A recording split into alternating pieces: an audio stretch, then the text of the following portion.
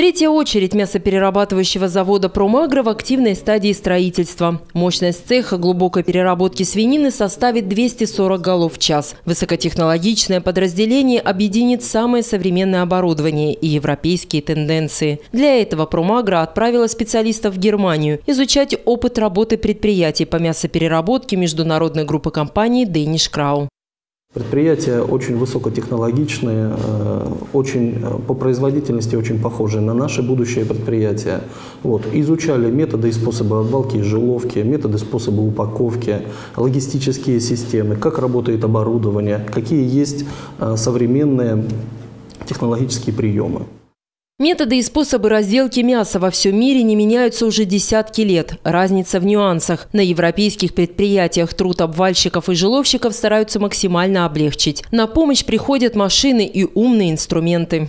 Ну, например, э, разделка полностью автоматическими пилами или, допустим, использование кольцевых ножей на разных этапах обвалки, использование э, ручных пил для удаления хребтов или ручного механизма для удаления лопаточных э, костей, тазобедренных костей. Раньше все это делали люди. Теперь это делают люди способом, с помощью механизмов. Тем самым облегчая себе труд, повышая производительность. Мы тоже на нашем предприятии это все внедрим. Также промагровцы посетили международную профессиональную выставку в сфере животноводства Евротер в Ганновере. Каждый год, наверное, каждые полгода идет изменение, внедряются какие-то новинки. И современные мощные предприятия, они отслеживают э, современные тенденции. Появляются новые элементы оборудования, появляются новые системы подготовки сырья, появляются новые, э, появляются новые установки по упаковке мясопродуктов. Новинки взяты на вооружение. Цех глубокой переработки свинины значительно расширит ассортимент.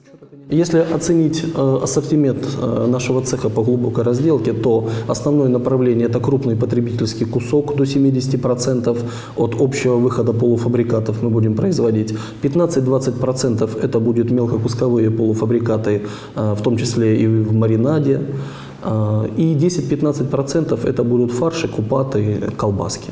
А пока на объекте идут общестроительные работы. Ежедневно здесь трудится около 100 человек, задействовано 20 единиц техники, самосвалы, автокраны, погрузчики и катки. Следующий этап строительства – холодильные камеры, монтаж панелей, потолков и освещения. Сейчас идет заливка полов, они здесь особенные.